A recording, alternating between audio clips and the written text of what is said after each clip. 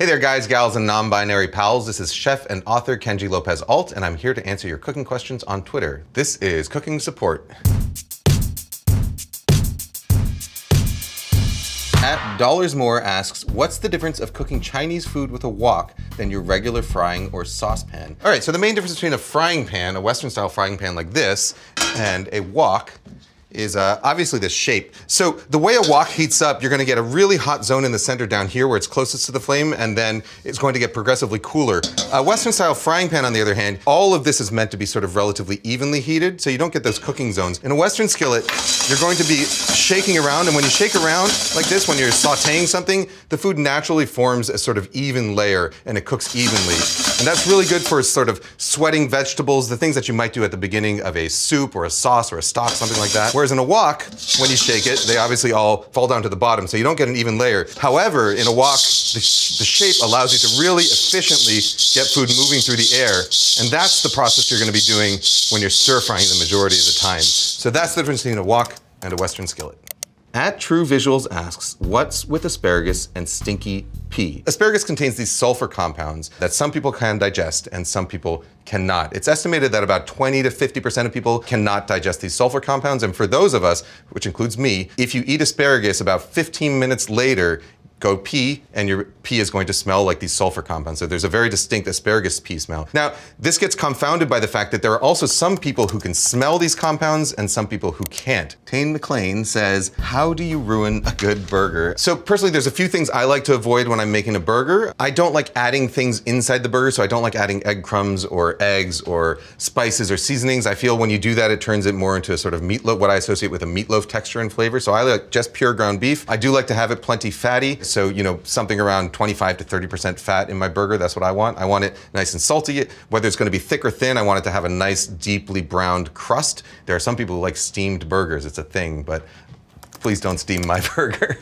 At Haitian Soul asks, does anybody know how to butcher a whole chicken? Uh, me, I know how to butcher chicken. Um, so I'll show you right here. So why would you want to butcher a whole chicken? It'll save you money. It's cheaper to buy a whole chicken than to buy the individual parts. It also gives you lots of tasty things like the backbones and the carcass. You'll use those to make stocks that are better than what you could buy in a box. We are gonna first take off the legs. There's this little flap of skin that stretches out. All you gotta do is kind of nick that with a sharp knife, just like that, and do the same thing on the other side. Just give it a little nick. Get your thumbs in there and twist them until the joints pop out. Now you hold it by one leg with the chicken kind of hanging down, and then what you want to do is you want to get your knife in here, and right here is a little nugget of meat called the oyster. You want that to come with you. You don't want it to stay the carcass because it's tasty. All right, so we're going to try as much as possible to get our knife down into there, and then we just go through the joint, which we just popped out, and then you have your leg. Same thing on the other side.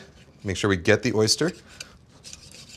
Look for the articulation, the place where the, the two joints meet, right there. Now you want to get your knife right in that slot and just cut through.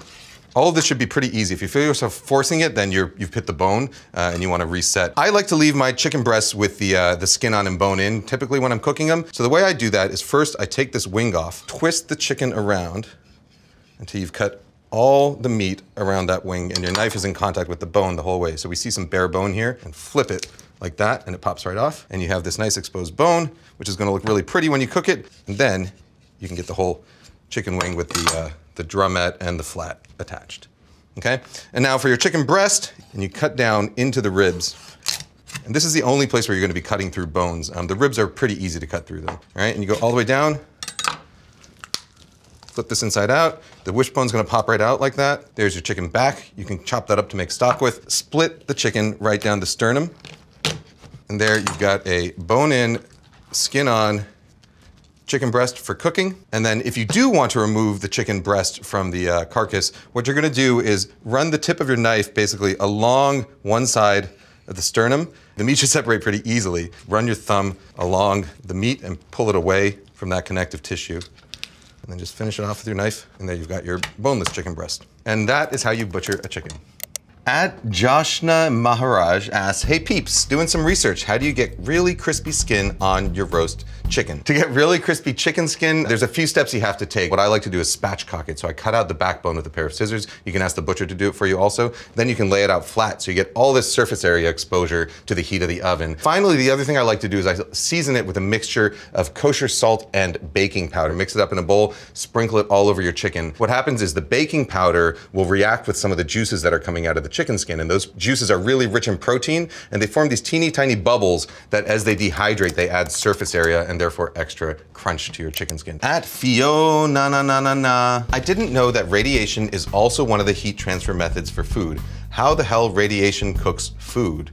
All right, so there are three basic types of heat transfer, um, whether you're talking about food or anything. There is conduction, that's when I touch a hot metal pan and the heat is going directly from the metal surface. There is convection, which is when the heat is transferred through a medium such as flowing air or flowing water. And then there's radiation, when you don't need any kind of contact at all. The most common form of radiation you're probably gonna find in your cooking is when you're baking something in the oven. An oven cooks through a combination of convection in the air and infrared radiation directly from the oven walls. So whenever you're cooking over coals or under a broiler, the type of heating that you're doing is radiation. It's direct heat energy coming from the heat source through the vacuum of space or through the air, as it were. At Worse Make asks, tell me, Hank, what constitutes a pinch of oregano, a smidge of basil, and what is salting to taste? Whose taste? What kind of taste? So if somebody says a pinch of oregano or a pinch of cumin, I would think that it's about this, about a 16th of a teaspoon or so. But if you love oregano, you love cumin, put more of it in. It doesn't really matter. The one case where it does matter is with salt, because salt can have a severe impact on the way foods cook because uh, it chemically interacts with meats, it chemically uh, interacts with a bunch of different things. But with salt, typically what you're looking for is around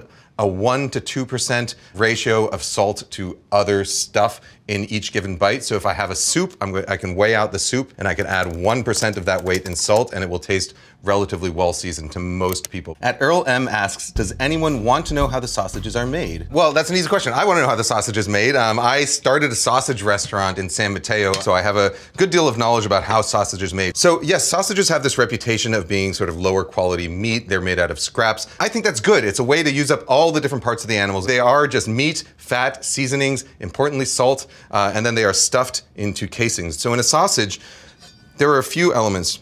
So when you cut open a sausage, what you're going to see is a few things. First, there's going to be the meat. Sausages are often made from pork shoulder. The lean meat, that's going to be the sort of darker colored parts. You're going to see the fat, which are these sort of creamier white parts. Um, you might see little specks in there, and those are going to be the sort of spices that you're adding to flavor it. Finally, the most important element that you won't see with your eye is the salt. You cannot make a sausage without salt. What happens is when you mix ground meat with salt and you start kneading it, um, the salt will dissolve some of the muscle proteins um, and it allows them to stick together and it forms this protein matrix. So salt and meat is what gives a sausage structure. The casings are typically uh, made out of pig intestines. If you get a big, great big salami, that's probably a cow intestine. And if you're getting a natural casing hot dog, that is a lamb intestine. Yes, nothing to be afraid of. Great way to use up all the different parts of the animal um, and delicious.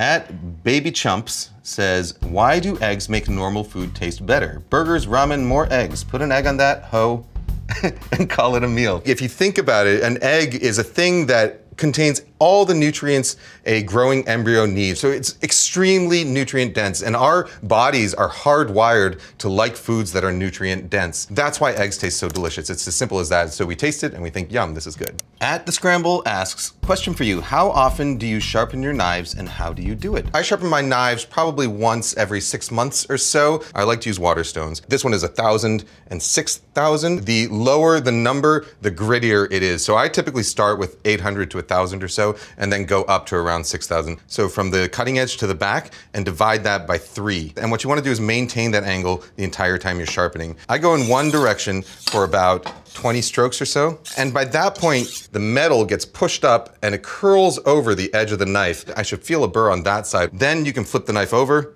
and start working on the other side. And so I'll start with 20 on each side until I feel the burr on both sides, then I'll go down to 10 on each side, then I'll go down to something like four, then two, and then I'll do a bunch of single strokes. And once that's all done, I'll move over to a higher grit stone. So that's the basic process of sharpening a knife. At Dennis N. Dairy 2 underscore asks, what is myoglobin? What is the function of myoglobin? Myoglobin is a pigment that makes our muscles red. So when you look at a steak and you say, oh, it's still bloody, that's actually not blood that you're seeing giving it that color. It's myoglobin, which is muscle pigment. Now, with some modern meat manufacturers, what they sometimes do is that if you buy vacuum sealed meat in those pouches, it'll look very bright red. And what they've done is they've injected that pouch with carbon monoxide. And when carbon monoxide reacts with myoglobin, it turns into carboxymyoglobin. There's this myth going around that the food industry is dyeing meat red to make it look more appealing to customers. They're not literally dyeing it red, they're just kind of maintaining that red color in what may be a sneaky, underhanded manner, but it's not going to affect the quality of the meat. Alain Gruder says, anyone recommend me a good cooking wok? What I would recommend for a home cook is a flat bottom wok. There's a bunch of materials you can choose from.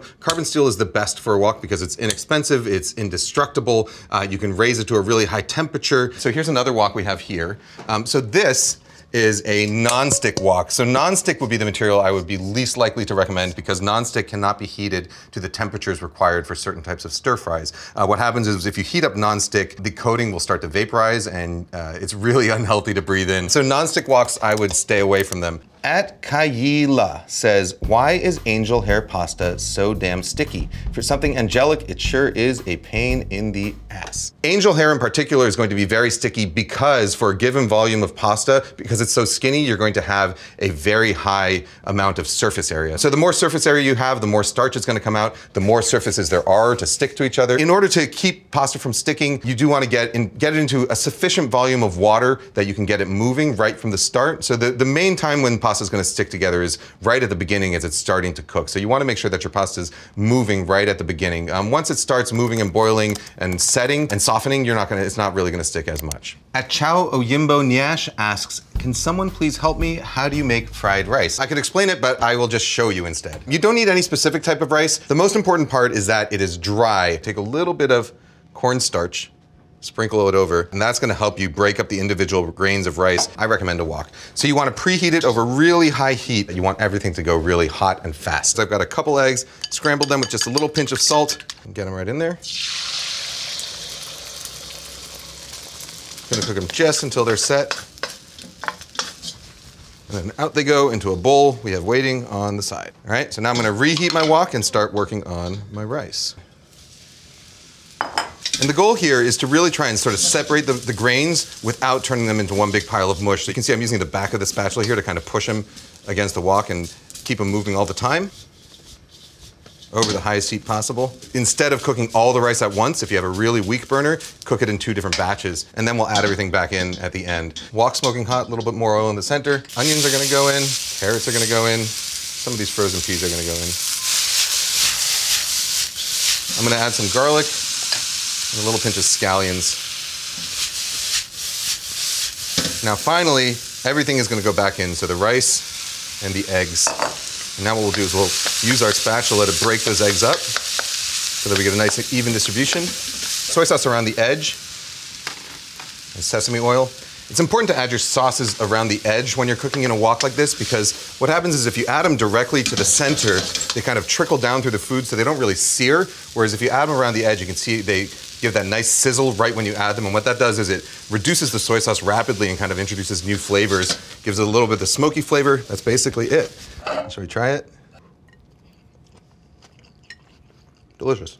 So the big takeaways are make sure that your rice is dry before you start cooking with it. Cook hot, cook in batches, and cook fast. And that's basically it. Lunatic Destiny asks, why would you use baking soda while cooking? Baking soda is a powdered alkaline. When you take baking soda like this and you add vinegar to it, it's going to form carbon dioxide and water. That's what gives your cakes and your pancakes and cookies lift right? It's a chemical leavener. So you can take baking soda, put it in water, and boil Western style uh, pasta, and it will give it a sort of springiness and a flavor very similar to Eastern style things like ramen. You can take baking soda, boil your potatoes, and what happens is the, uh, the higher pH makes it so that the pectin on the surface of the potato, that's sort of the carbohydrate glue that holds the potato cells together, the pectin breaks down faster. And so you end up with potatoes that are softer on the exterior so that when you subsequently toss them and roast them, they get a lot more surface area, they make them extra crispy. And finally, you can add baking soda to your beans if you're planning on making a bean soup or you want them to tenderize faster. So I add baking soda to the water when I'm making something like hummus and I'm cooking the chickpeas because it'll cook the chickpeas much, much faster. At Ren Harker asks, what is so difficult about cooking pork to a safe temperature? Maybe your parents' generation or your grandparents' generation, there was this time when pork was relatively unsafe to eat at raw or rare temperatures um, because of the risk of a parasitic infection called trichinosis. That has been almost completely eliminated in modern pork, so it's not really something you have to worry about. So a lot of modern pork has very, very lean meat, and therefore it becomes harder to cook and keep juicy because lean meat dries out a lot faster without the uh, fat and the connective tissue to keep keep it moist. So with pork, what I generally recommend, the best way to cook it to a safe temperature and make it stay juicy is to brine it. So if you have a pork chop, you put it in a, in a solution of about 2% salt, 2 to 3% salt in water, or you can just sprinkle it with salt and let it sit in your fridge overnight. And then when you cook it the next day, what happens is that salt breaks down the muscle proteins so that as they cook, they don't actually constrict as much, they don't squeeze out as much moisture. As far as safe cooking temperatures for pork versus beef versus chicken, the government will recommend that you take them all to 165 degrees Fahrenheit, which is the temperature temperature at which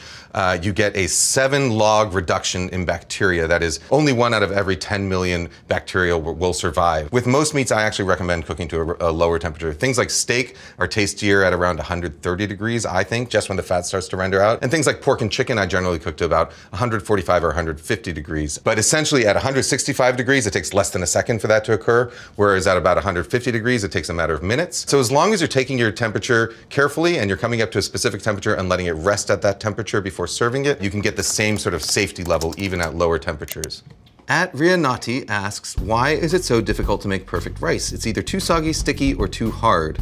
Help me. Depending on the type of rice you're using, you're gonna need a different water to rice ratio. With something like a Japanese sushi style rice, which is what I cook most, it's about 1.1 times water to one part of rice. I'll measure out my rice, put it in the pot, then I'll measure out 1.1 times that volume of rice, put it into the pot, start it cold, put a flame underneath it, bring it up to a simmer, put the lid on it, turn the heat down to the lowest possible setting and let it simmer at that temperature for about 10 minutes. Don't open it up, don't look at it. Definitely, definitely do not stir it. If you start stirring it, what happens is you release all this excess starch and that's why your rice starts to break and turn mushy. After 10 minutes, shut the flame off and let it sit for another 10 to 15 minutes to completely absorb all that liquid. And then finally, if you were patient and you didn't touch anything, when you open it up, you should have perfect rice. So those are all the questions for today. Um, thank you so much. I love it when people ask questions like this because it means you're thinking and you're using your brain while you're cooking and you're not just following the recipe, you're trying to get out there and experiment. And I love that. Thanks for watching Cooking Support.